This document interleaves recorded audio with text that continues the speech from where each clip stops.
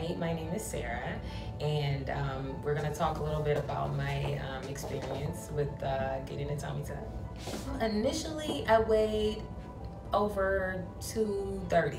I just realized I was living very unhealthy.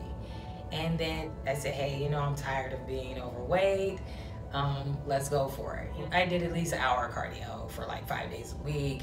Weight started melting off and I started looking great. I lost almost 100 pounds. But then I noticed when my skin started to sag. And that's when I realized, I said, okay, this is part two. my doctor was Dr. Pinnella. He did an amazing job transforming me into this new beautiful person that I am today.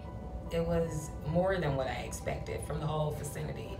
Everybody was wonderful. This was probably one of the most impressive experiences I've ever had, and I would highly recommend it to anyone. It takes a little time to heal, but if you do what you need to do, eat properly, get proper rest, in no time, you know, you'll feel great, you know? I think what really motivated me initially is just the point of being healthy and then just having someone else there to give you that extra push. My daughter, she hit the gym with me. I was motivated. Even at time when I didn't feel like going, they feel like going. I would always suggest have something, you know, have a goal, have something you want to do, have some type of happiness to focus on. Anyone can do this, not just me, anyone can do this.